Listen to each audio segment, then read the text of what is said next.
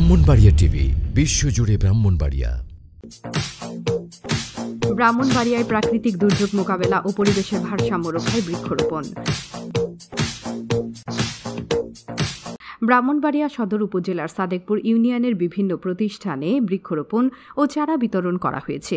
আজ শনিবার সকালে সাদেকপুর উচ্চ বিদ্যালয়, Chilikot school and college, Sadekpur দাখিল মাদ্রাসা, ইউনিয়ন পরিষদ চত্বর সহ বেশ কয়েকটি স্থানে বৃক্ষরোপণ ও চারা বিতরণ করা হয়।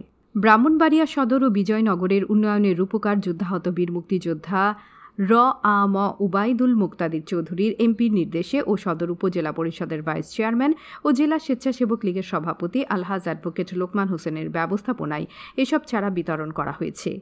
প্রাকৃতিক দুর্যোগ মোকাবেলা ও পরিবেশের ভারসাম্য রক্ষায় প্রধানমন্ত্রী শেখ হাসিনা ঘোষিত দেশব্যাপী বৃক্ষরোপণ ও চারাগাছ বিতরণ কর্মসূচির অংশ হিসেবে এসব চারা বিতরণ করা হয়।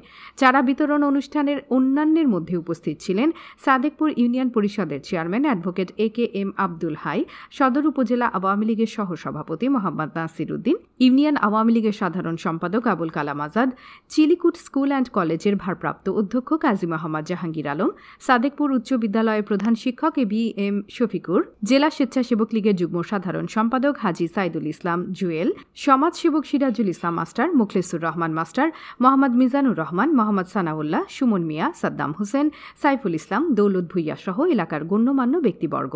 নিজস্ব প্রতিনিধির পাঠানো তথ্যচিত্রে ব্রাহ্মণবাড়িয়া টিভি।